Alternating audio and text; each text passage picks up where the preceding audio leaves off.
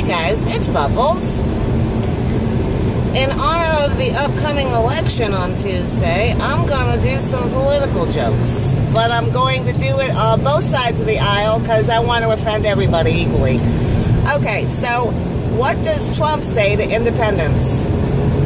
Orange is the new black. All right, now for Hillary.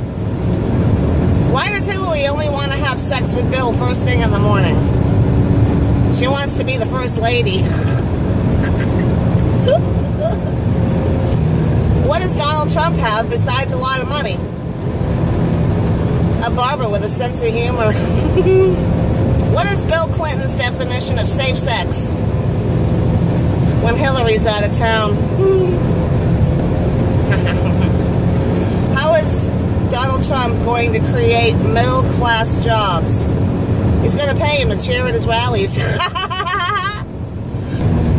Why does Hillary Clinton like dogs better than she does Bill? Because dogs chase their own tail. Alright guys, that's all I got. I gotta keep my eyes on the road. What are you doing, buddy? Oh my god. I gotta keep my eyes on the road here. Alright, well, good luck to everybody and God bless America. God bless America. Okay.